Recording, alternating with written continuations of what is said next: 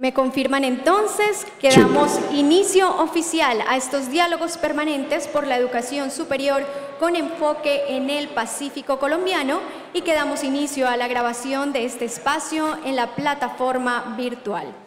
Damos paso a la explicación de la metodología a cargo de Ricardo Moreno, director encargado de fomento de la educación superior del Ministerio de Educación Nacional. Hola, muy buenos días a todos y todas. Eh, muchísimas gracias por abrirnos este espacio de la Universidad Tecnológica de Chocó. A ustedes, a ustedes que llegaron temprano, que estuvieron aquí muy puntuales desde, desde esta mañana atendiéndonos, muchísimas gracias. Igual un saludo a nuestro rector, eh, profesor David, nuestra viceministra de Educación Superior, a nuestra jefe de planeación del Ministerio de Educación Nacional y particularmente a la comunidad de la UTC, de la cual debo decir, seguramente ustedes muchos no lo saben, hago parte de esta comunidad como miembro del Consejo Superior, por lo cual me siento muy orgulloso de estar hoy aquí, en la cual es también mi universidad. Eh, el día de hoy El día de hoy entonces eh, nos complace muchísimo en el marco de este diálogo regional eh, que hemos abierto alrededor de las mesas de transformación de la educación superior, estar cumpliendo un mandato de nuestro presidente, de nuestra vicepresidenta, de nuestra ministra, un compromiso que surgió hace ya unas semanas cuando se instalaron estas mesas de diálogo permanente por la educación superior en la ciudad de Bogotá. Allí la ministra se comprometió a que realizaríamos estos espacios de manera sistemática en diferentes territorios del país, que las discusiones sobre la educación superior no se iban a quedar en un escritorio en Bogotá, que no se iban a quedar allá en las oficinas del Ministerio de Educación Nacional, sino que era acá en los territorios del país, en la costa pacífica, en la costa atlántica, donde tuvimos el último diálogo, donde con las comunidades, con las estudiantes, los estudiantes, las profesoras y los profesores, con el, eh, el sector de los trabajadores de la educación superior, con las directivas académicas, por supuesto, y las directivas universitarias, que construiríamos este proyecto de nueva educación superior. Les, agradezco si es posible que pongamos la presentación, querido. Ah, listo, perfecto. Entonces, eh, como les digo, este es un, un recorrido que iniciamos ya desde el año pasado, desde el inicio de gobierno, nuestra ministra, nuestra viceministra y el equipo directivo del Ministerio de Educación Nacional ha estado de manera permanente en diferentes territorios del país, dialogando con las juventudes particularmente alrededor de lo que queremos que se transforme en la educación superior. Y quiero empezar por algo que está planteado en el discurso de nuestra ministra, una ministra que es de aquí de la casa, una ministra que también estuvo en su acto de posesión, el día que se posesionó la ministra estuvo acá, lo hizo aquí desde este territorio. Y también el presidente, en, la época de los diálogos regionales, se refirió de manera permanente a lo que ha denominado la sociedad del conocimiento. Entonces quiero empezar por ahí, porque el Plan Nacional de Desarrollo lo ha eh, definido muy bien, nuestro, nuestro plan Colombia Potencia Mundial de la Vida, establece, y esto es un mensaje que queremos posicionar el día de hoy y de la mano de ustedes, transformar el sistema para poder pasar de la educación como servicio a la educación como derecho. Esa es una consigna de la educación pública, hacer de la educación superior pública un derecho de calidad y para todos y todas. Entonces, este diálogo eh, que hoy tenemos el gusto de desarrollar en el Pacífico, y en el corazón, en esta, en esta ciudad de Quibdó, eh, va a tener como propósito abordar varias temáticas, esto en cumplimiento también de un artículo del Plan Nacional de Desarrollo, el artículo 122, del, que los invito y las invito a todas y todas a que puedan entrar a nuestra página del Ministerio de Educación Nacional, donde van a encontrar la información del plan de desarrollo y específicamente de lo que se dice sobre educación superior. Y este artículo 122 plantea la reforma participativa del sistema de educación superior. ¿Quiénes ya leyeron el plan de desarrollo? A ver. Uy, de a uno. Eso es intimidez. Muchas gracias.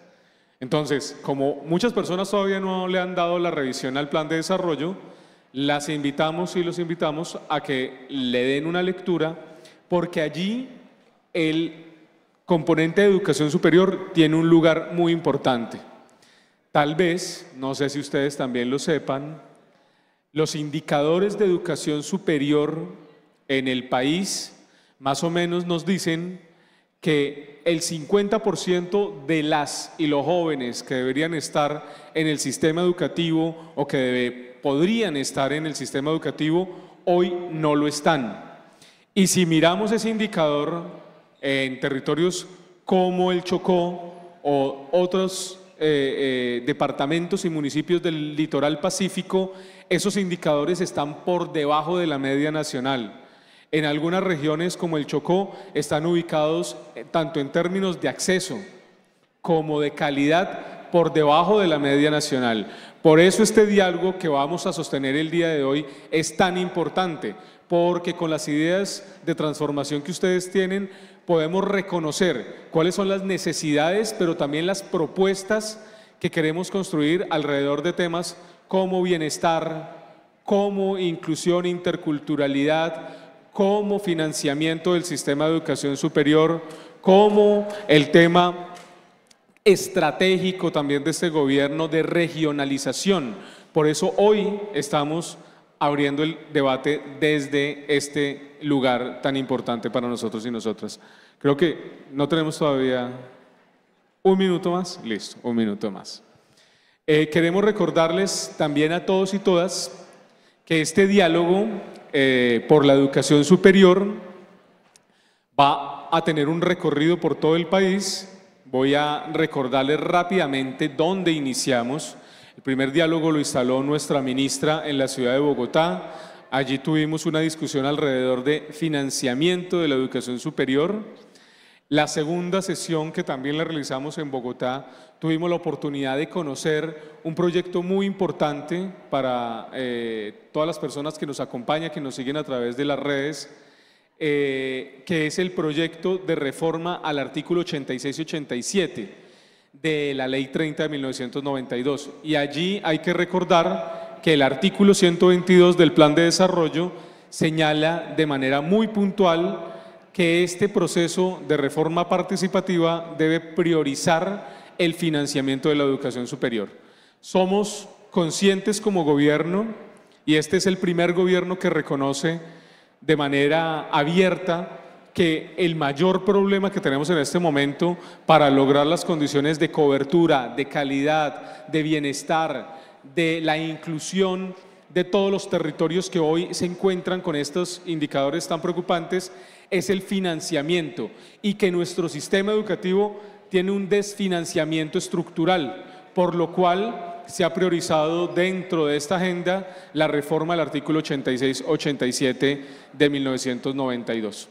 Las personas que se acaban, acaban de unir aquí, eh, aquí todavía quedan unas sillitas para que se puedan ubicar, por allá y aquí adelante también hay sillitas, por favor. Un saludo a nuestros compañeros y compañeras de la Universidad Tecnológica de Chocó, profesores, trabajadores, a los integrantes y las integrantes del Consejo Superior Universitario, también bienvenidas a este espacio eh, de construcción. El tercer diálogo participativo eh, tuvo lugar en la costa atlántica, en la universidad pública también que nos acogió, la Universidad del Atlántico. Aquí un saludo a nuestro representante de los estudiantes de la Universidad del Atlántico, que muy afortunado que esté aquí también en territorio. Seguramente ahorita nos va a poder contar qué sucedió por allá en, este diálogo.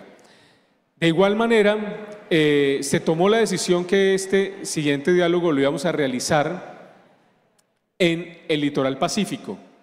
Y aquí nuevamente queremos exaltar la importancia de este espacio en la UTC, toda vez que es la universidad pública de la región, que es la universidad pública de este territorio y que nos acoge bajo un principio.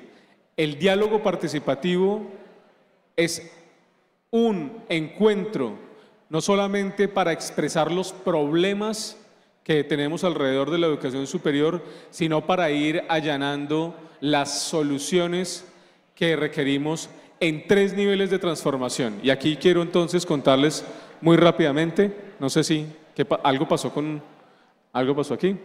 Bueno, entonces vamos a vamos a hacer un recorderis muy rápido de cuáles son esos ejes de, la, de transformación sobre los cuales vamos a estar conversando el día, el día de hoy. El primero son las transformaciones vía legislativa. Entonces aquí como tenemos muchos estudiantes de derecho, pero todos y todas seguramente también lo saben, gran parte de estas reformas requieren proyectos de ley como la reforma a la ley 30 de 1992. Pero no son las únicas transformaciones que necesitamos hacer.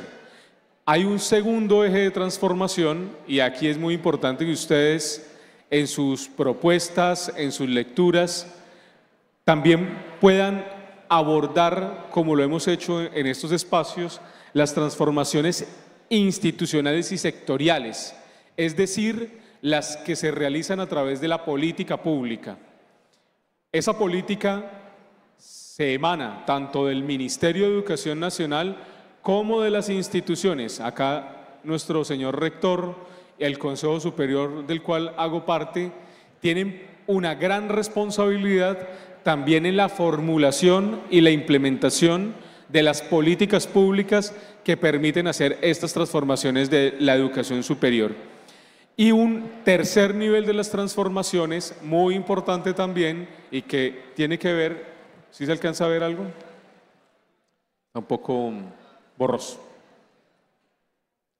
Bueno, y un tercer nivel de transformación muy importante son aquellas que pasan por el nivel territorial y mediante el diálogo de los intereses de las comunidades. Es diferente la concepción de calidad, por ejemplo, vista desde la política pública en Bogotá y desde las condiciones de calidad que esperamos que se den en un territorio como el Chocó y en el litoral pacífico. Dentro de todos estos diálogos que hemos sostenido con jóvenes y en otros territorios del litoral pacífico, como el Cauca, como Tumaco. No sé, alguien nos decían que nos acompañaban de Tumaco. ¿Alguien puede levantar la mano? Acá, Tumaco, ¿dónde están? Eh, un saludo, compañeras de Tumaco. Nos decían, esperamos que a través de este diálogo se pueda reconocer la diversidad de nuestra región las condiciones particulares de nuestra región, de nuestra cultura, y por eso consideramos que en esta transformación territorial también se tienen que hacer propuestas que reconozcan esas particularidades, esas, esas condiciones naturales y esas condiciones específicas que tienen nuestras comunidades y territorios, que en este caso eh, tienen un componente étnico muy importante, pero también unos, unos, unos, eh, unas condiciones territoriales de las vocaciones de esta región, que es una región con la mayor biodiversidad ecosistémica, pero también con unas condiciones de eh, aislamiento territorial que han conllevado a que gran parte de las condiciones del Estado y de los derechos no se puedan cumplir de manera plena. El día de hoy, entonces, si me pueden ayudar aquí, querido Cristian, vamos a trabajar para que podamos darle lugar rápido a nuestra, a nuestra vice. En tres momentos, en este, eh, ahora mismo entonces estamos realizando una presentación general de lo que significa este diálogo regional, eh, lo que significa este espacio de participación. En, un segundo momento vamos a tener unas mesas de trabajo como les decimos, hay unos ejes de discusión que queremos promover. Eh, vamos a tener dos momentos, una primera ronda de trabajo en mesas por ejes temáticos. Gracias a la experiencia de estas últimas tres mesas, hemos identificado que muchas personas quieren participar en varios temas. Ya les vamos a contar un poquitico en qué consisten esos temas. Luego vamos a pasar a un pequeño receso donde vamos a tener un refrigerio y después vamos a ir nuevamente a una segunda ronda de trabajo en mesas y cerramos con una plenaria donde vamos a tratar de recoger. Les agradezco que podamos bajar un poquitico la conversación. Gracias. Gracias para que nos podamos escuchar. Y vamos a tener luego una presentación de resultados. Creo que no se, no, se, no se puede ver.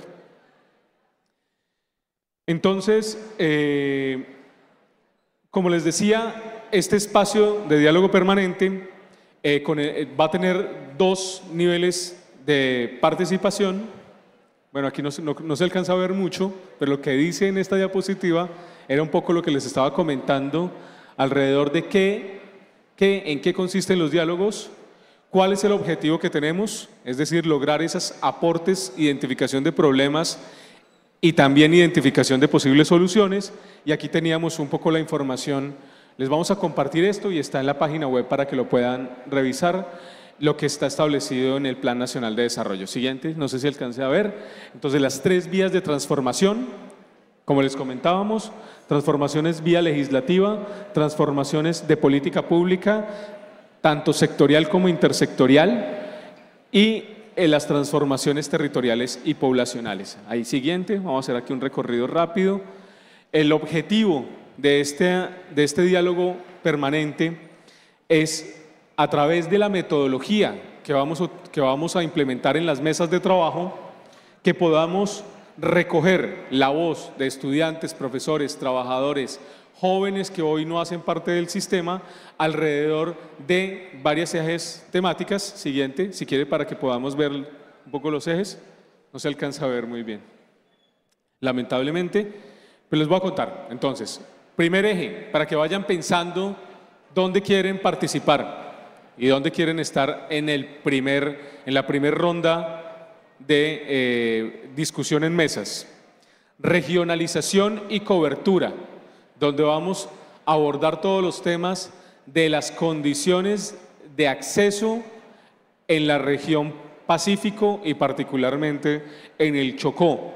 Temas como la cobertura en la educación superior en los diferentes niveles de formación técnico, tecnológico, profesional universitario y cómo logramos establecer una cobertura que comprenda este territorio. Segundo, financiamiento. Ya hemos hablado sobre el tema eh, una pequeña introducción de la importancia no solamente de reformar el artículo 86 y 87 de la ley 30, sino de las reformas que necesitamos para financiar de manera adecuada el sistema de educación superior y eso incluye diferentes sistemas de financiamiento de la educación.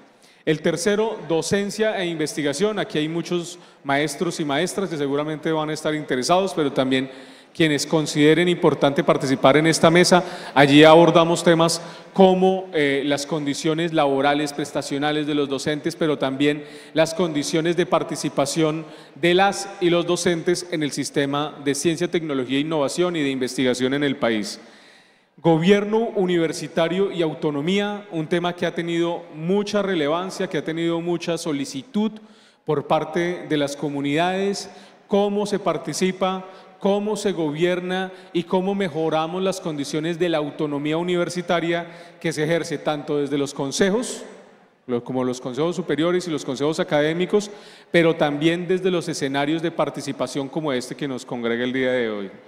Un eje temático muy importante que eh, hace parte de las transformaciones que estamos impulsando desde el gobierno nacional en cabeza del ministerio es la reforma al sistema de calidad y pertinencia. Allí vamos a tener una mesa dedicada de manera exclusiva a dialogar alrededor de lo que significa este sistema de calidad.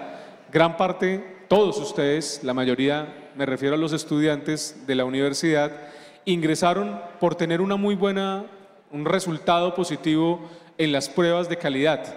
Sin embargo, esa no es la única medición de calidad, las pruebas estandarizadas.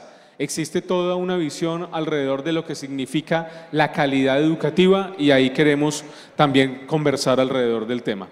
Bienestar y permanencia, sin duda uno de los grandes retos que tenemos dentro de esta transformación es abordar el sentido del bienestar universitario, de lo que significa tener condiciones de una buena vida en una institución de educación superior, temas como por ejemplo la alimentación escolar, las condiciones de permanencia, las condiciones también para acceder al arte, a la cultura, al deporte en la educación superior.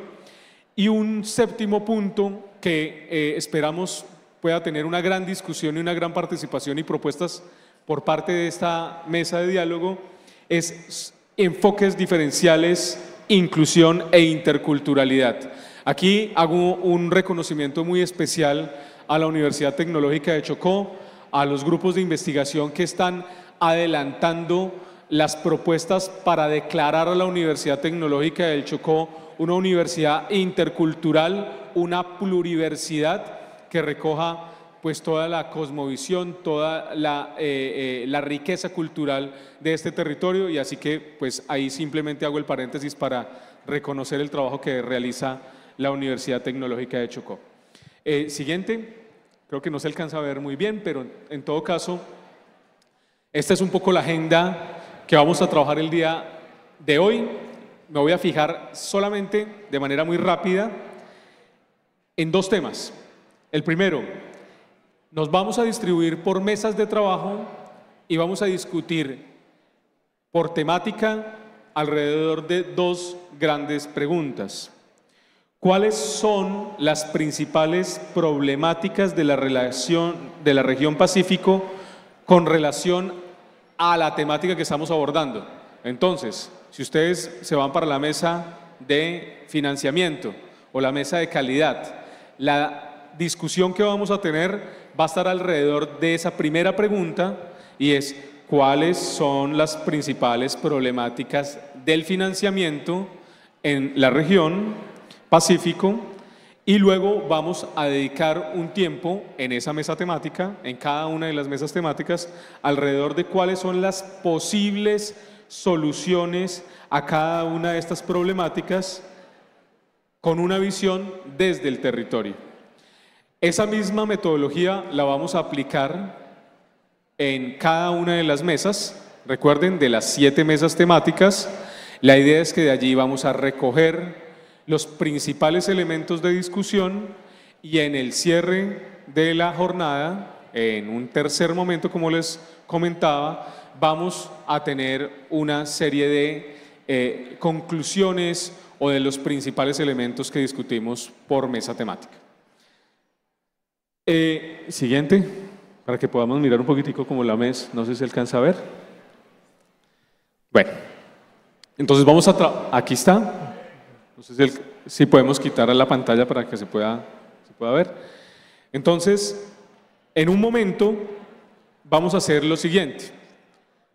Aquí saliendo del auditorio a mano izquierda, en el eh, bloque 4, donde están ahorita colgados unos pendones, Acá creo que todos saben cuál es el bloque 4, pero para quienes vienen de otras regiones, para que puedan saberlo, vamos a estar distribuidos en una primera ronda de, de mesas donde vamos a abordar cuatro de los ejes temáticos. Entonces, mucha atención.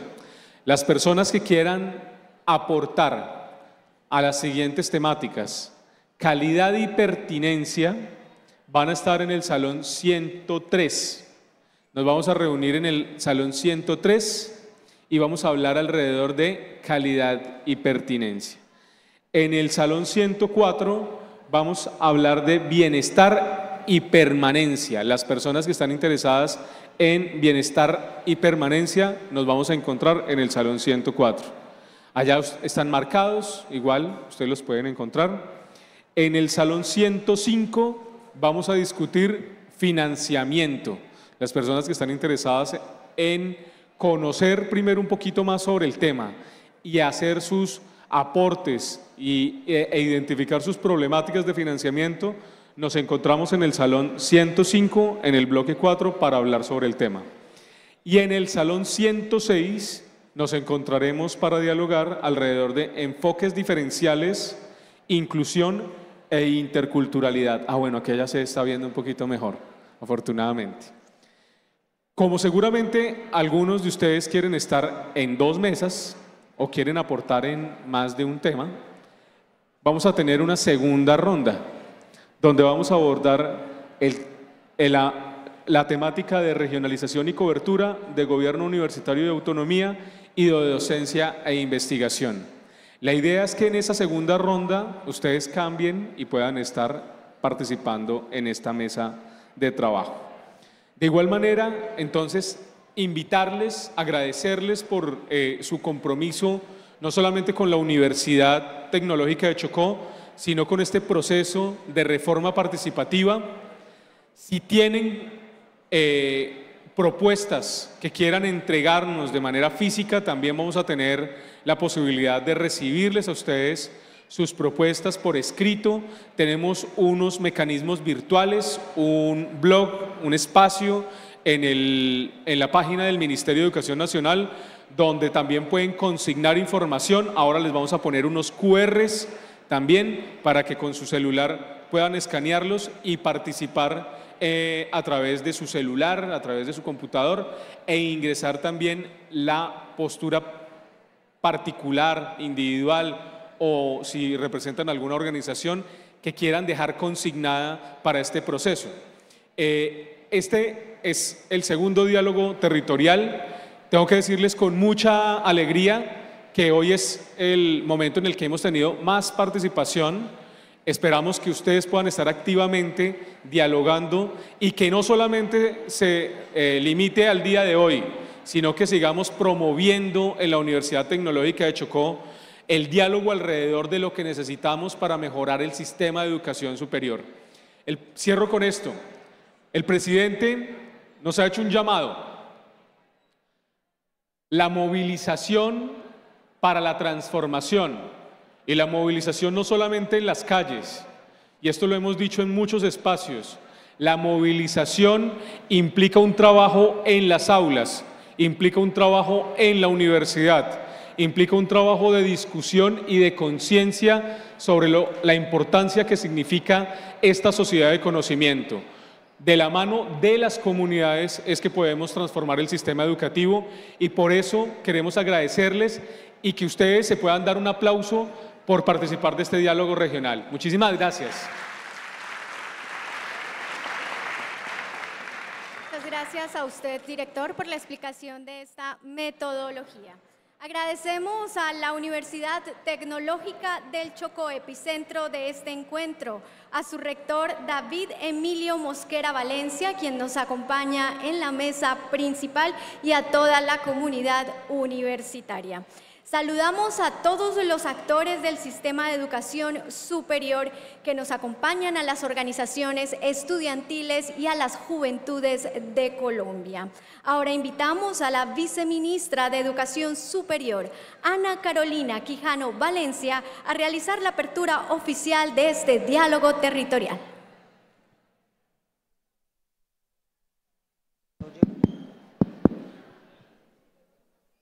Buenos días. ¿Cómo están? Bueno, me voy a parar aquí en el centro para que, por las dudas técnicas que estamos teniendo, para que puedan observarnos mejor, dejen por favor la, distribución de la mesa.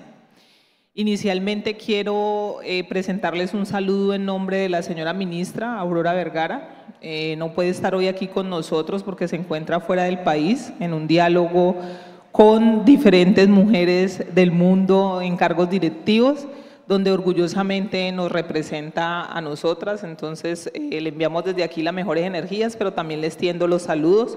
Justo estábamos ahora en comunicación y me estaba preguntando que cómo estaba la universidad, cómo estaban ustedes y cómo estaba en el espacio. Como ustedes lo saben, ella nos ha planteado, por solicitud del señor presidente, una hoja de ruta y un camino para iniciar a dialogar por la educación superior. Y ahora mencionaba Ricardo em, qué significa o qué pensamos de la construcción de un diálogo. ¿sí? Muchas veces cuando eh, generamos espacios de diálogo con otras personas, creemos que ese ejercicio es para convencer a la otra persona de lo que yo pienso o para que la otra persona haga lo que yo quiero. Pero como ya estamos en la educación superior, y somos entonces todas personas adultas, sabemos que ese ejercicio no pasa de esa forma, que muchas veces lo que sucede es que yo, por el ejercicio de diálogo, puedo em, permitirme que la otra persona conozca mi perspectiva, que reconozca la importancia de lo que yo estoy planteando y que lleguemos a un consenso, no para estar de acuerdo o en desacuerdo, sino para llegar a un consenso. Y como sociedad en este país tenemos un consenso, claro, hay muchísimas cosas que nos separan en este país, lamentablemente, muchísimas, sobre las que no me voy a detener, pero hay una que nos une profundamente y es la educación, y la educación superior. En ese sentido, este espacio de construcción y de diálogo está pensado para que participe toda la ciudadanía. ¿Quiénes están ahí? Está el sistema universitario estatal, es decir, todas las universidades públicas del país. Está la red TTU, que son la red de universidades técnicas y tecnológicas. Están diferentes agremaciones, SUBE, ASCUN, de instituciones de educación superior privadas. Tenemos también el acompañamiento del Congreso, de senadores, de representantes. Recordemos que las reformas que ha planteado el señor presidente y que esperamos realizar, se realizan en el Congreso, no las hacemos nosotros. Entonces, en ese sentido, tenemos que hacer un ejercicio de trabajo constante con el Congreso de acompañarles. Hoy ustedes saben, tenemos tres reformas a la Ley 30 y necesitamos encontrar un consenso de qué vamos o qué vamos a reformar. Con el, enmarcados en el artículo que les planteaba Ricardo ahora, el 122. Tenemos también la participación de la comunidad estudiantil, que además en su ejercicio analítico, constructivo, de disidencia, hace unas críticas constantes a la mejora del sistema. Y lo aceptamos y lo recogemos porque entendemos que es para mejorar. Tenemos la participación activa de las docentes, de los docentes de las instituciones, de los rectores de las instituciones y aquí un saludo muy especial al rector que nos abre hoy la nos abre las puertas de la universidad. Para nosotros es clave el fortalecimiento de la institucionalidad de las universidades porque creemos que es así como logramos que todo lo que queremos realizar en términos de lo académico se perfeccione. Y tenemos la participación de ciudadanos que no están estudiando en la educación superior, que no han podido, como ustedes hoy lo tienen y como yo lo tuve, el privilegio de estudiar en, una educación superior y que también tienen reflexiones que aportar. Y en ese sentido, como ustedes verán, con todos los otros eh, participantes que se me escapan, pues somos muchos y somos, y somos muchas para ponernos de acuerdo en cuál es nuestro consenso para la educación superior. Aquí hemos planteado y el equipo les trae unas mesas de trabajo, una hoja de ruta. Esperamos su participación activa, propositiva. Es muy importante para nosotros reflexionar y entender qué piensa Chocó, qué quiere Quito sobre la educación superior. Por eso estamos hoy aquí. Es el segundo diálogo que hicimos. Estuvimos en Barranquilla, en el Atlántico, y ahora estamos aquí. Y necesitamos recoger de ustedes qué piensan ustedes sobre la educación superior. Porque este ejercicio que inicialmente es un ejercicio de construcción, esperamos que nos permita transitar la hoja de ruta, que deje claro el panorama de cuáles serán las reformas legislativas, es decir, de qué va a pasar por el Congreso, sobre qué tenemos que generar consensos como comunidad educativa, entendiendo y respetando la autonomía de las instituciones y sobre qué transformaciones serán acuerdos sociales a los que tenemos que llegar y decir, esto no puede pasar dentro de la institución y tenemos que ponernos todos y todas de acuerdo. Aquí quisiera también hacer un énfasis especial e importante sobre la participación activa de la Consejería Presidencial para las Juventudes. Ella nos va a acompañar ahora, seguramente ahora estará en los diferentes escenarios y espacios. Quiero finalizar mi intervención reiterando de nuevo el sentimiento de felicidad y de alegría que nos da de estar hoy aquí con ustedes, que esperamos podamos recoger lo que ustedes consideran o cómo consideran ustedes que debemos de avanzar en educación superior. Está el equipo de trabajo del ministerio aquí dispuesto para escucharles, para acompañarles y agradeciéndoles y deseándonos pues a todos y a todas una jornada fructífera. Muchísimas gracias. Muchas gracias a usted, señora viceministra.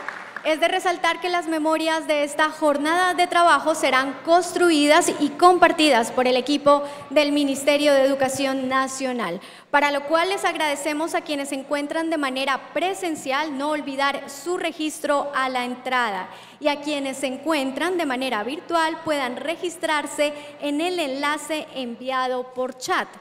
¿Cómo podrán participar las personas que se encuentran de manera virtual? Porque ya explicamos cómo se van a desarrollar las mesas. Entonces, quienes se encuentran de manera virtual, les informamos que contamos con el micrositio en el portal web www.mineducacion.gov.co. En el banner Diálogos Permanentes por la Educación Superior, ahí van a encontrar ustedes en la sección de destacados una opción para darle clic. Ahí los va a llevar al micrositio. En el micrositio van a encontrar ustedes al lado derecho un icono donde dice presente aquí sus propuestas y comentarios. Entonces, todas las personas que se encuentran conectadas virtualmente, que ya nos han reportado que son bastantes, podrán hacer sus comentarios y participar por este medio. Las personas que se encuentran de manera presencial aquí en la Universidad Tecnológica del Chocó también van a poder tener asesoría para la erradicación de solicitudes o hacer consultas al Ministerio de Educación Nacional. Para ello se ha dispuesto de un módulo de atención donde se encuentra una persona de inspección y vigilancia del ministerio. Ella va a estar ubicada en la entrada principal al lado de la administración por si alguno de ustedes quiere esta asesoría personalizada. Y ahora bien, siguiendo las indicaciones que nos expuso nuestro director encargado de fomento, vamos a invitar a todos los participantes a que nos acompañen de manera presencial a pasar a estas rondas de trabajo. Va a haber personal de logística que los va a estar organizando, entonces ustedes ya se pueden ir disponiendo a realizar este ejercicio. Vamos a tener un intermedio para tomar refrigerio. Por favor, les pedimos entonces que de acuerdo con su interés puedan participar en estas mesas. Ya pueden ustedes ir eh, disponiéndose a, ir a estos bloques. Les voy a ir recordando cuáles son para que puedan realizar eh, pues, e, esta visita o esta organización por bloques. Las personas interesadas en el tema de calidad y pertinencia se van a dirigir al Salón 103, bloque 4. Repito, las personas interesadas en el tema de calidad y pertinencia dirigirse al Salón 103, bloque 4. Las personas interesadas en el tema de bienestar y permanencia se van a dirigir al Salón 104, bloque 4. Repito, tema de bienestar y permanencia, Salón 104, bloque 4. Las personas interesadas en los temas de financiamiento se van a dirigir al salón 105 del bloque 4. Todos van a ser en el bloque 4. Repito, financiamiento, salón 105, bloque 4. Las personas interesadas en el tema de enfoques diferenciales, inclusión e interculturalidad se van a dirigir al salón 106, bloque 4. Repito, las personas interesadas en el tema de enfoques diferenciales, inclusión e interculturalidad, favor dirigirse al Salón 106, bloque 4. A las afueras de este auditorio contamos con personal de la universidad que nos van a ayudar a guiarlos a cada uno de estos salones eh, que les hemos mencionado. Les recordamos que luego del refrigerio también vamos a trabajar en una segunda ronda de mesas por temas, según nos explicó nuestro director. Entonces, mientras nos organizamos logísticamente aquí en la universidad para esta jornada, vamos a invitar a las personas que se encuentran de manera virtual a seguir conectados en unos momentos hacer su participación a través de nuestro micrositio en las indicaciones que les dimos, hacer su registro para que les lleguen las memorias de esta sesión. Vamos a continuar enlazados, conociendo las expectativas y necesidades. Vamos a estar entrevistando a diferentes actores del sector y después de esto vamos a desarrollar las conclusiones.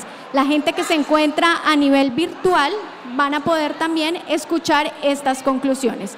A todos ustedes, muchas gracias. Damos paso a las mesas de trabajo. Como sabemos que hay más gente conectada, que está muy pendiente de este diálogo permanente por la educación superior, queremos presentarles los testimonios, las voces de los actores, qué está diciendo eh, los estudiantes, las directivas, los profesores en este diálogo. Vamos a compartir esto mientras se desarrollan tras bambalinas los diálogos para que finalmente la viceministra de Educación Superior nos pueda contar las principales conclusiones. En este momento nos encontramos con... Oscar Alexis Riascos Mosquera. Bueno, Oscar Alexis, eres un estudiante de aquí de la universidad, ¿en qué carrera?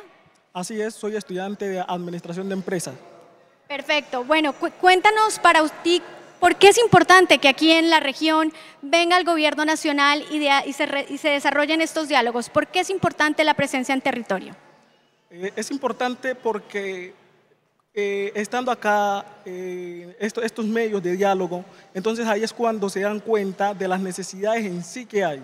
¿sí? Porque estos espacios son muy importantes, porque si vienen a hacer esta, este tipo de diálogos, nos vamos, se van a dar cuenta de las necesidades que hay. Y si se dan cuenta de las necesidades que hay, entonces se pueden solucionar, porque necesidades que no se conoce no se puede solucionar. Bueno, además nos contabas tras bambalinas que también eh, pues has querido participar en la mesa de financiamiento, que es la que trata el tema de la Ley 30. ¿Por qué es importante para ustedes como rol de estudiante esta reforma que se va a hacer a la Ley 30? Pues la reforma que se va a hacer a la Ley 30 es importante en mi rol de estudiante porque por medio de ella vamos, va a haber mejor calidad de educación mejor calidad de educación. ¿Eso qué quiere decir? Que más personas van a tener la posibilidad de estudiar. Y eso es muy importante porque acordémonos que eh, el poder de un país reside en su educación. Y si hay más educación, eh, mayor futuro tendrá el país. Además, también tú eres una persona en situación de discapacidad y ahora el gobierno del cambio le apuesta a la inclusión, le apuesta a que todas las personas puedan acceder a la educación superior y que podamos llegar a la educación superior como un derecho. Desde esta posición, ¿qué nos quisieras contar para que también todos pudiéramos conocer más sobre la importancia de la inclusión en la educación? La importancia de la inclusión es un tema muy importante, como todos también es muy importante ¿Por qué? Porque una persona en situación de discapacidad, eh, teniendo en cuenta que hay diferentes tipos de discapacidades, eh, se le dificulta un poco, se nos dificulta un poco el tema, por ejemplo, a mí, de transporte. Otras personas también se les dificultaría, por ejemplo, que tienen problemas de aprendizaje, eh, una educación ligada para, para, para esa condición. Entonces es muy importante la inclusión, porque teniendo en cuenta que en, el país, desconozco el número de personas que, que, estén así en esta condición, pero de hecho que son muchos. Entonces, esas personas para que no se queden por fuera, para que también puedan acceder a la educación. Muchísimas gracias por tu participación y te invitamos para que sigas a la mesa de financiamiento en la que estabas participando. E invitamos a más estudiantes que nos quieren contar sus propuestas y sus aportes. Es importante que sepan que las personas que están virtual, ¿cómo van a poder participar? No se les olvide que estamos a través del micrositio web www.mineducacion.gov.co. Allí encuentran el diálogo permanente por la educación superior en un botón color morado y podrán hacer sus propuestas y comentarios y las personas que quieren seguir conectadas, les agradecemos porque al finalizar estas mesas de trabajo, que van a estar durante aproximadamente unos 40, 50 minutos, después les vamos a contar las conclusiones y las relatorías y memorias de esta jornada también las vamos a seguir socializando. Estos diálogos son permanentes, así que ustedes que están ahí conectados, no se me preocupen porque sus opiniones y sus comentarios también son muy importantes. El énfasis hoy es aquí en territorio desde el Chocó. Invitamos entonces a otro de los estudiantes que nos acompaña en esta jornada. ¿Cómo estás? ¿Cuál es tu nombre? Eh, Luis Ernesto Mosquera Mosquera. Bueno, ¿eres estudiante o cuál es tu cargo en el sector? Eh, estoy trabajando como asistente administrativo en, en el, en el equipo de egresados de la Universidad Tecnológica del Chocó. ¿Egresado de qué carrera? Recursos naturales y educación ambiental. Perfecto, es muy importante que todos los actores, en este caso los egresados, también participen, porque el futuro de Colombia está en la educación y está en todos sus actores. Bueno, cuéntame cuál es la importancia de que el gobierno nacional venga a estos diálogos permanentes, que se desplace a las regiones, a los territorios, porque para ustedes es clave. Eh, pues para nosotros es muy clave que el gobierno haga parte del proceso de calidad de la formación de los estudiantes y que recorra no solamente el departamento del Chocó, nosotros vemos acá que el departamento del Chocó en temas de educación con calidad siempre ha estado muy bajo, pero ¿qué es lo que hemos buscado? La transformación y romper los paradigmas que los estudiantes y los planteles educativos acoplen con la universidad para ver la necesidad que tienen los estudiantes y transformar esa necesidad en conocimientos previos para ellos mismos. Perfecto, claro que sí. ¿Y en qué mesa puntual estás participando? En calidad y pertenencia. Bueno, y en este tema de calidad y pertinencia, ¿cuáles son las propuestas puntuales que ustedes le están haciendo al gobierno nacional? Eh, una de las propuestas puntuales que le estamos haciendo al gobierno nacional es que a través del tema, de, el tema de mejoramiento y de calidad nosotros podamos enfocarlos en el conocimiento previo y asimismo los estándares curriculares se enfoquen y que los docentes enseñen ditamente lo que digan los estándares. Así podemos tener una calidad totalmente cordial en todos los sectores. Bueno, también estamos hablando de la reforma a la Ley 30 en sus artículos 86 y 87 en el tema del financiamiento. Sobre esta apuesta que se tiene en el gobierno nacional, eh, ¿qué opinión tienes? Eh, yo creo que la propuesta de la ley 30 es una garantía de calidad para todos los sectores. Nosotros podemos ver que la educación en muchas de las partes no está por parte de conectividad, hay muchos jóvenes que les toca el acceso, pero con esta reforma van a tener una educación, pueden tener una educación virtual y la educación se puede transformar en los sitios donde ellos están, o sea, van a tener más asequibilidad y más fácil para poder estudiar muchísimas gracias por tu participación, porque las voces de todos los actores del sector de la educación son escuchadas en estos diálogos permanentes por la educación superior. Y hay más jóvenes que nos quieren contar sus apuestas y sus necesidades. Ustedes que se encuentran de manera virtual lo pueden hacer a través de nuestro portal web www.mineducacion.gov.co. Allí nos pueden hacer llegar sus propuestas en este momento y les agradecemos a todos los que siguen conectados porque en este medio también les vamos a dar las conclusiones de la jornada que estarán a cargo de la viceministra de Educación Superior, Ana Carolina Quijano Valencia. Y vamos con otro estudiante, muchas gracias. ¿Quién más quisiera participar? Te invitamos por aquí porque mucha gente está participando en estas mesas. Quiero contarles que este es el segundo diálogo que se hace en territorio. El pasado fue hace 15 días en la ciudad de Barranquilla y aquí hemos tenido una masiva participación. ¿Cómo estás? ¿Cuál es tu nombre? Hola, ¿qué tal? Mi nombre es Davinson Mena Paneso, estudiante de Ingeniería de Telecomunicaciones en la Universidad Tecnológica del Chocó. Bueno, Davinson, el tema de las TIC que está cogiendo gran acogida, ¿verdad? Muy importante ese tema ahora en la sociedad del conocimiento. Y la ministra de Educación Nacional, Aurora Vergara Figueroa, sobre este tema de tecnología les tendrá una noticia muy importante en San Andrés este fin de semana, así que todos muy pendientes a estar eh, atentos a las redes del ministerio para que conozcan de qué se tratan estos anuncios. Bueno, ahora quiero que me cuentes sobre la importancia de estos diálogos aquí en territorio para ustedes como estudiantes? Me parece muy importante que la voz de cada uno de los estudiantes eh, se tenga en cuenta, porque nosotros también podemos dar soluciones viables a algunas problemáticas que se están presentando. Bueno, puntualmente, ¿en qué mesa estás participando? En la interculturalidad. El tema de interculturalidad. ¿Y allí qué propuestas estás haciendo? Bueno, como principal eh, queremos proponer todas las algunas opciones que puedan conectar, eh, que se pueda tener una buena relación cultural, intercultural entre, todos los, entre todas las áreas, porque cuando hablamos de interculturalidad no nos referimos simplemente a una sola área, sino eh, hacer la unión de varias áreas para llegar a un objetivo final. ¿Y alguna propuesta muy puntual que quieran hacer? Pues ahorita estábamos planeando entre todos los compañeros hacer una buena propuesta y se les va a dar al final de, del ciclo de hoy. Por eso es que es muy importante las conclusiones porque ellos están trabajando, sino que yo me los estoy robando un poquito acá para que ustedes que están de manera virtual pues conozcan qué es lo que está pasando detrás de estas mesas de trabajo. Bueno, pero es muy importante también el tema de la reforma a la Ley 30, el tema de financiamiento. Puntualmente sobre este tema de la Ley 30, ¿tienes alguna apreciación que hacer? Pues no, porque bueno, una de las, de las mesas que quería participar era en la de financiamiento, pero no pude, pero también me gustaba interculturalidad, entonces estoy allá y ya algún otro joven o algún otro chico de mi salón me puede contar de lo que se pudo trabajar allá que sí, bueno, muchas gracias. Te dejo para que puedas seguir a tu mesa y al final estaremos con, con las conclusiones. Mientras van llegando más chicos aquí que nos cuenten sobre este tema, escuchábamos al estudiante decir, bueno, yo escogí interculturalidad, pero me gustaría otra mesa. Les cuento además que hemos tenido, pues vamos a tener dos rondas de, de mesas para que puedan participar en una o dos temáticas dispuestas. Bueno, ¿qué me informan? ¿Seguimos teniendo gente conectada para mostrarles esta jornada?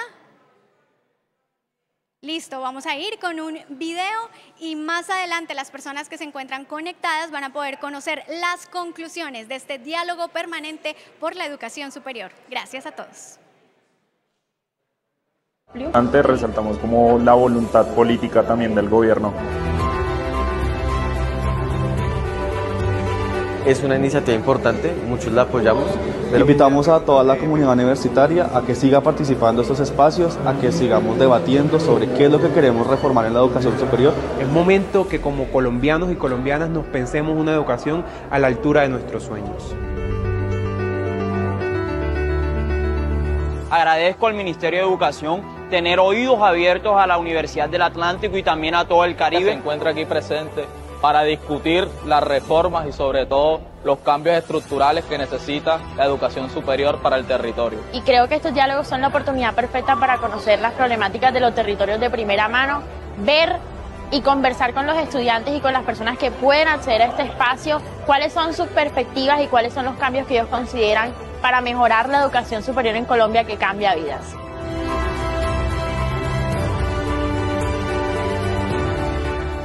Colombia, potencia de la vida.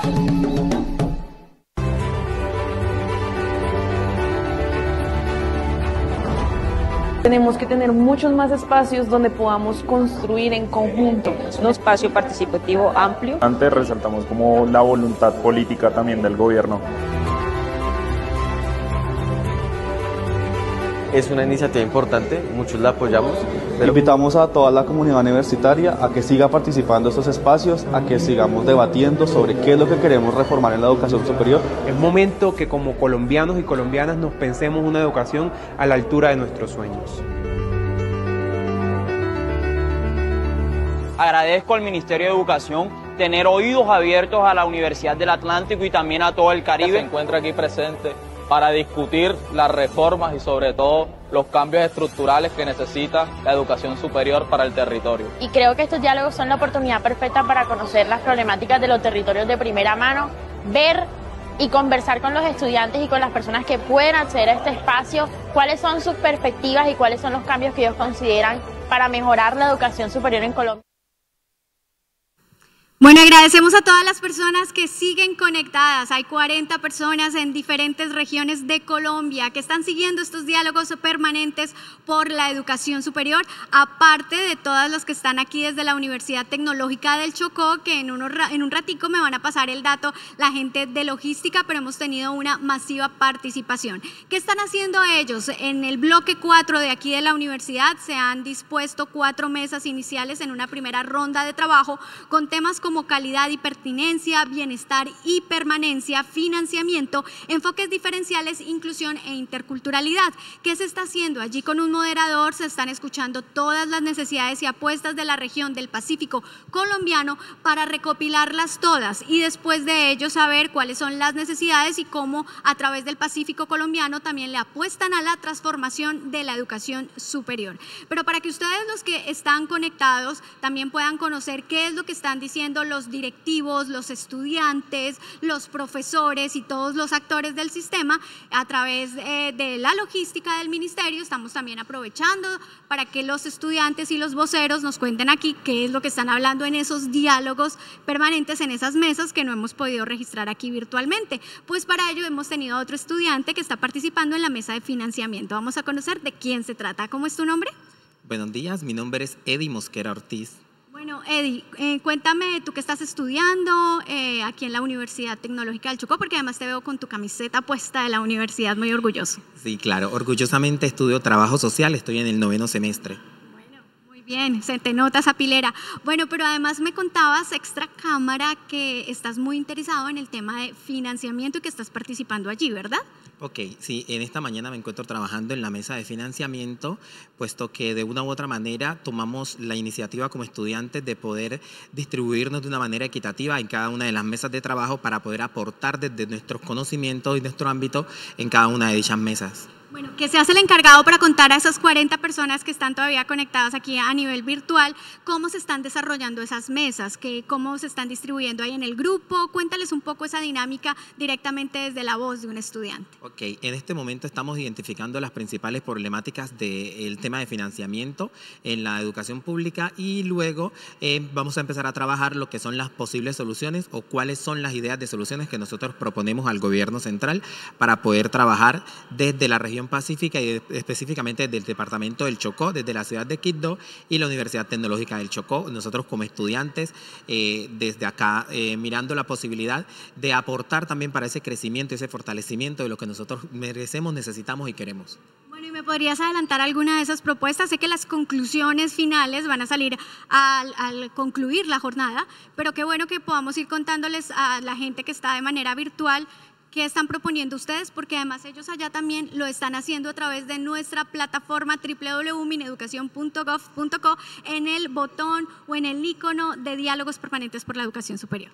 Ok, una de esas, de esas propuestas principales que estamos generando en este momento es la distribución de un financiamiento con enfoque étnico, territorial y cultural, basados en la premisa de que no todas las personas afro vivimos las mismas situaciones o no todos los territorios vivimos las mismas situaciones.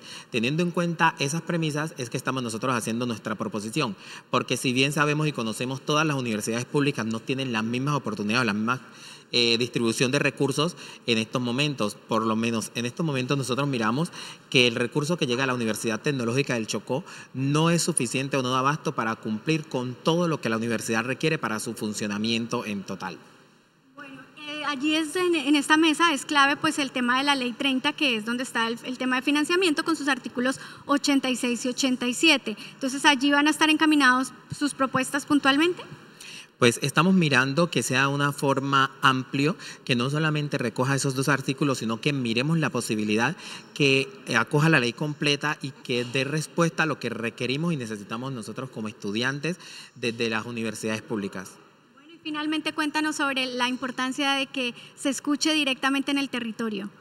Ok, bueno, eh, la importancia es, es ¿cómo le explico? Sería algo demasiado inmenso, puesto que si bien conocemos y tenemos presentes que en muchas ocasiones todo lo que se hace sale desde un escritorio y no desde las personas a las cuales tenemos las necesidades básicas insatisfechas, es muy importante y es fundamental que seamos nosotros quienes tenemos las necesidades, que podamos proponer qué solucionamos, qué, qué, qué queremos para solucionar esas problemáticas que se nos presentan en el día a día y en todo lo que nosotros requerimos o necesitamos. Muchísimas gracias y te invito entonces para que sigas en tu mesa de trabajo, que hagas tus propuestas. Muchas gracias por tu participación. Que estés muy bien entonces. Y vamos a seguir pues conociendo esas voces de los principales actores. No sé si se encuentra alguien más por acá. Ahorita me, me, confirman si hay más personas, pero bueno, mientras tanto, ustedes que están de manera virtual, no se olviden que estamos en www.mineducacion.gov.co y allí van a poder hacer sus diferentes apuestas porque estos diálogos son de manera permanente. Estamos en una ruta nacional, la primera jornada comenzó eh, con, en la ciudad de Bogotá con la ministra de Educación, Aurora Vergara Figueroa, se hicieron la instalación de esas mesas.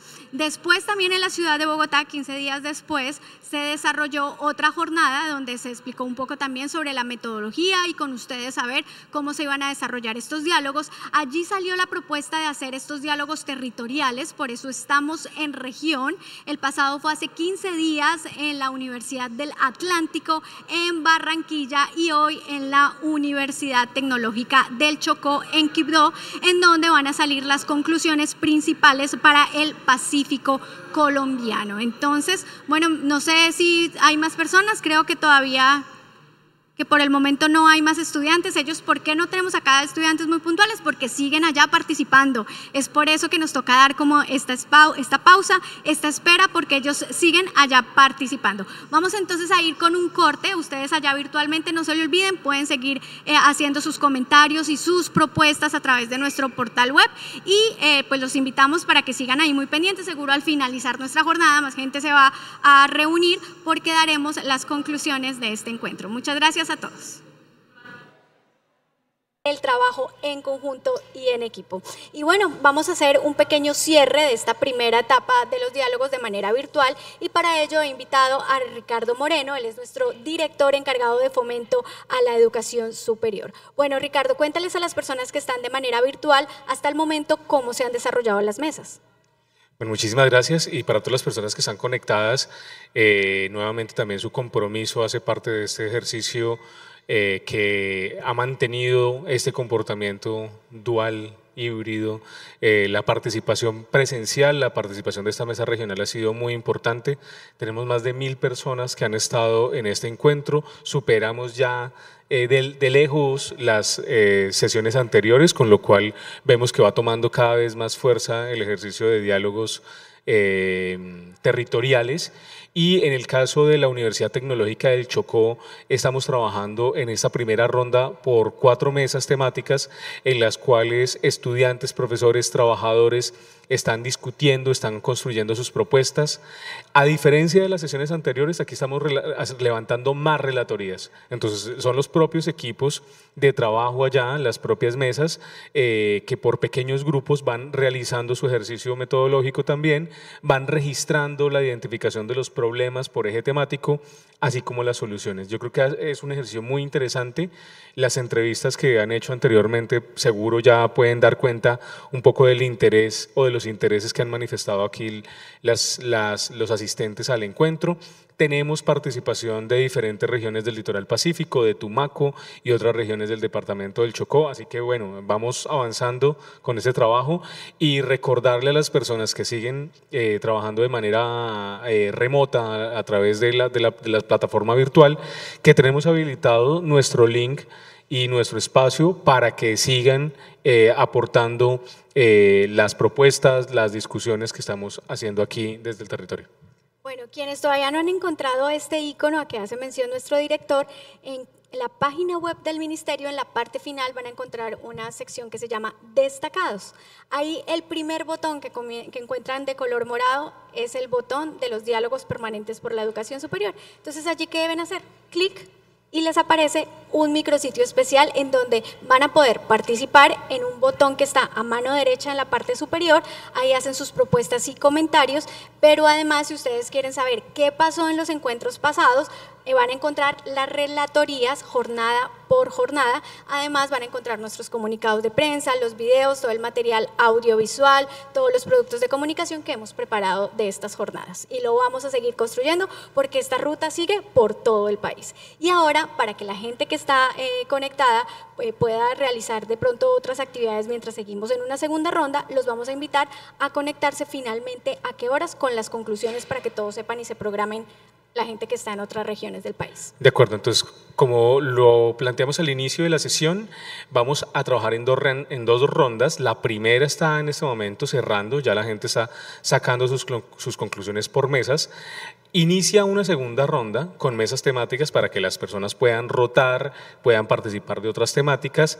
Es decir, hacia las doce y media, entre doce y media y una, vamos a estar nuevamente desplazándonos hacia este auditorio para realizar una plenaria y eh, retomar nuevamente con las conclusiones de lo que ha sido esta jornada, segunda jornada territorial en el litoral pacífico, aquí en la Universidad Tecnológica del Chocó.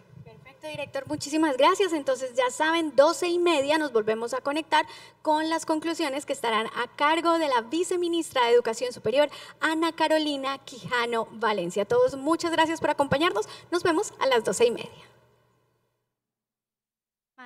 Los vamos a invitar a que tomen asiento.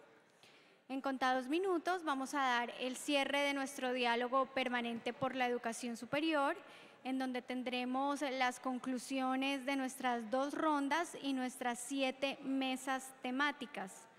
Es importante que sepan que la relatoría de esta jornada va a quedar dispuesta en nuestro portal web www.mineducacion.gov.co. Allí no solamente van a conocer la relatoría de esta jornada, sino que van a tener el recuento de las tres jornadas anteriores, dos desarrolladas en la ciudad de Bogotá, una en Barranquilla y hoy en Quibdó. Invitamos a las personas a tomar asiento porque en este momento vamos a dar paso a nuestro cierre de los diálogos permanentes por la educación superior con enfoque en el Pacífico colombiano. Fueron siete mesas temáticas en dos rondas de trabajo en donde se escucharon las diferentes voces del sector educación. Pero antes de conocer estas conclusiones, queremos invitar a la consejera presidencial para la juventud, Gabriela Pozo, quien nos acompaña para que nos cuente la importancia de estos diálogos y cómo vio ella el desarrollo de estas mesas. Adelante, consejera. Ahí está. Bueno, muy buenas eh, tardes ya para todos y todas. Mi nombre es Gabriela Pozo, soy la consejera presidencial para la juventud. Hoy me alegra muchísimo estar en este territorio, en Quito. Quiero resaltar que la participación de todos ustedes ha sido un éxito. Eh, que hemos podido estar en las diferentes mesas. Con Ricardo moderamos la mesa de gobierno y autonomía universitaria, una de las mesas más claves en términos políticos de cómo se gobierna al interior de las universidades. Yo quiero resaltar dos puntos importantes y es el primero, hoy encontramos que la Universidad Tecnológica del Chocó eh, brinda los servicios de educación superior a muchos jóvenes y muchas personas del departamento del Chocó. Muchos son, eh, vienen de otros municipios a estudiar directamente en Quito y eso implica dentro también del bienestar de los estudiantes, implica también unas, unos desafíos mucho más grandes de poder trasladarse a territorio, de buscar vivienda, de buscar el sostenimiento en eh, esta ciudad que recoge. También decir que la tasa de cobertura de, eh, pues de Quito es de 104%. Eso implica que pues, lo que decía recoge a otros jóvenes y a otras personas de otras regiones, pero eh, principalmente quiero resaltar que aún en Chocó la cobertura en educación superior es del 24%.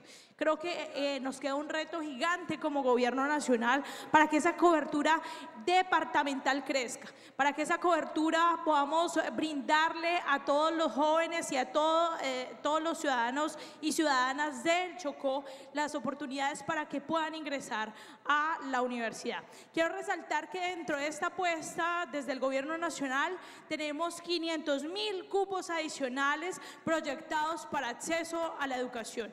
Y esta apuesta es no solamente creando universidades nuevas, sino brindando los espacios para que las universidades que ya están puedan eh, generar su oferta en esos multicampus, en esos espacios, tanto de pregrado, de, de posgrado, de tecnologías, de eh, diferentes eh, servicios que ofrecen las universidades. Y esto es una invitación a todas las universidades que hoy están acá. reconozco que hay algunos delegados de presidencia de las distintas universidades públicas y esto es un llamado para que las mismas universidades puedan también ofrecer eh, los distintos pregrados y posgrados en esos multicampos, porque el reto de 500 mil cupos adicionales no solamente es del gobierno nacional, sino también de las universidades para que puedan generar estas eh, distintos, ofertar estos distintos servicios allí. Yo quiero resaltar un tema bastante importante. Nosotros estuvimos en la mesa de gobierno y autonomía universitaria y eh, discutimos acerca de la democracia y discutimos acerca del poder. Quiero resaltar que nosotros como gobierno nacional estamos convencidos de la democracia, pero una democracia no meramente representativa, sino una democracia que recoja las voces de todos y todas. Por eso estamos en este espacio, estamos en este diálogo permanente por la educación superior y permanente porque constantemente debemos actualizarnos, debemos reconocer cada uno de los contextos. Pero sobre todo la invitación es que nos pensemos como estudiantes, como comunidad en general, como comunidad universitaria, todo lo que requerimos acá dentro de las universidades, todas las apuestas que se tienen desde estas universidades para revisar cuáles son esos cambios y sobre todo de cómo concebimos la democracia y la gobernabilidad dentro de nuestras universidades. Quiero rescatar que este espacio de cara a la construcción de apuestas también de, de la reforma a la ley 30, pero sobre todo también apuestas en recoger desde violencias basadas en género, cátedras de paz, entre otros temas que hoy surgieron en las mesas. Quiero decir que como segundo momento es en la construcción también del poder. El presidente de la República en el Consejo Nacional de eh, Juventudes resaltó un asunto muy importante y es que el poder se construye en colectivo y sobre todo desde esa legitimidad con las personas, con el pueblo. Por eso hoy estamos en este espacio para seguir construyendo y decirles que parte de la Consejería Presidencial para la Juventud estaremos y aunque no solamente los que estudian son jóvenes, pero sí la educación superior beneficia implícitamente a la juventud colombiana. Quiero decirles que de nuestra parte seguiremos trabajando y seguiremos promoviendo esos espacios democráticos y democracia colectiva para seguir eh, generando consensos y generando apuestas alrededor de la educación superior en Colombia. Muchas gracias. Muchas gracias a usted, consejera, por sus palabras. Y vamos a dar paso en este momento nuevamente a la viceministra de Educación Superior, Ana Carolina Quijano Valencia, quien nos contará las conclusiones de la jornada. Señora viceministra, la vimos a usted recorriendo cada una de las mesas, hablando directamente con la gente. Cuéntenos cómo le fue. ¿Cómo están? Ya estamos un poco agotados, ¿cierto? Vamos a, lo entiendo, no se imaginan, igual que ustedes. Vamos entonces a hacer un cambio en la metodología y vamos a hacer aquí en este espacio unas conclusiones de cada una de las, de las mesas, pero lo que queremos proponerles es que lo vamos a presentar. Cuando Ricardo hizo la presentación de los diferentes escenarios de diálogo que tenemos, les mencionó que tenemos una página de internet donde tenemos puesta como un link donde pueden observar los resúmenes y las conclusiones para que puedan darlos y vamos a permitirnos como ir cerrándole, agradeciéndoles la participación. Queremos mencionar un asunto que nos parece de destacar y es que tuvimos 915 participantes. Es el diálogo por lo superior con más amplia participación que hemos tenido desde que inició la señora ministra hasta ahora que estamos aquí, que es un asunto fundamental porque refleja eh, como siempre lo, lo, manifiesta la ministra, la capacidad y las potencialidades del territorio. Tenemos muchos retos pendientes, pero tenemos una capacidad eh, y unas ganas que, que sobresalen por encima de cualquier cosa. Entonces, inicialmente mencionar eso, eh, y con esa participación activa se pudieron desarrollar los siete puntos que teníamos, cada uno de los equipos de trabajo estuvo liderando, tenemos conclusiones muy importantes que queremos destacar, como les digo, de manera muy puntual en la página. Queremos agradecerle de nuevo a la universidad, a Quito, el habernos abierto las puertas de la institución, pero más importante aún el participar en esto que como lo decía la consejera es la apuesta de gobierno que tenemos es la transformación de la educación superior con un propósito y es, como lo ha dicho el señor presidente, generar la sociedad del conocimiento que esperamos tener. Entonces, dicho esto, eh, avanzamos en el, en el cierre. De nuevo, muchísimas gracias. Bueno, Bueno, viceministra, muchísimas gracias. Entonces, ya saben, todas eh, las relatorías las van a encontrar en nuestra página web www.mineducacion.gov.co. De esta manera, entonces, damos por finalizada esta jornada. Les agradecemos a todos su participación y los invitamos a que sigan generando sus comentarios de manera permanente. Muchas gracias a todos. Eh, Presi, muchas gracias y señora eh, viceministra. Gracias a la universidad, pero es gracias al movimiento estudiantil. Fuimos nosotros los que dimos la pelea para que este gobierno, que es el del cambio, hoy estuviera aquí. ¿Es así o no es así? ¿Es así o no es así? Entonces, gracias al movimiento estudiantil, viceministra y señora consejera de la juventud.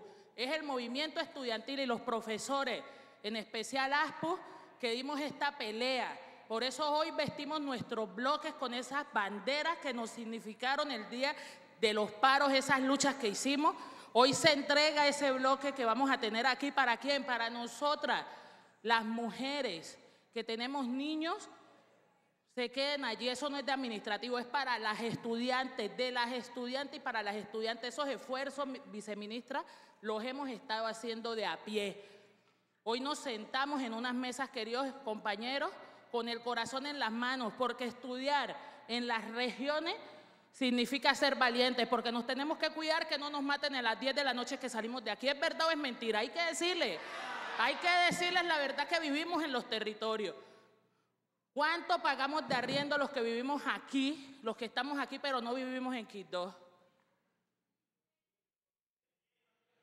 Hay que decirle la verdad, pero entonces esperamos que esta mesa de diálogo, estos insumos, y haber nutrido este espacio que es uno de los más, ha sido uno de los más sustanciosos, venga con unos resultados mañanas y pasados satisfactorios. Que no nos tomen como carne de cañón, que se vengan y se tomen la foto y se lleven las problemáticas de nosotros y simplemente queden en el libro como hicieron en su momento los gobiernos antes pasados. Déme decirle, señora viceministra, que la recibimos bien, no nos, no nos, nunca nos vamos a arrepentir de, recibirlos a ustedes. La última vez que el presidente de la República, Iván, y su ministra y su consejero de la juventud estuvieron aquí, le cerramos las puertas de la juventud, le cerramos las puertas de la U, perdón. Les tocó irse a reunir a Confachocó porque éramos coherentes, porque mientras estábamos peleando en los paros, ellos le decían que los paros no eran necesarios, por lo tanto la universidad se les cerró y hoy se la abrimos a un gobierno del cambio. Démosles el aplauso, pero digámosles que miren al Chocó, que nos tengan en cuenta, que no venga de pasones. Mañana pasado, el próximo mes, nos vamos a reunir 1.500 mujeres en este auditorio. Y qué mejor que sea la ministra y la viceministra que inauguren ese evento. Es histórico. Ustedes saben que aquí no existían las corporaciones de mujeres. Hoy existen. Y son 1.500 jóvenes ministras que tienen hijos algunos, que están haciendo la lucha, que se, se la hemos arrebatado a la guerra. Y eso es bonito y vamos a seguir creciendo, esa corporación va a seguir creciendo. Tenemos la próxima semana un evento con 1.100 niños de la zona norte. Hay que traerlos para que ellos no piensen, muchachos, que allá apenas se ve la guerra. Tenemos que arrebatárselo a la guerra. Esos son eventos sociales que hace la universidad. Y están bien o están mal. También, entonces el aplauso es para ustedes, el movimiento estudiantil. Muchísimas gracias.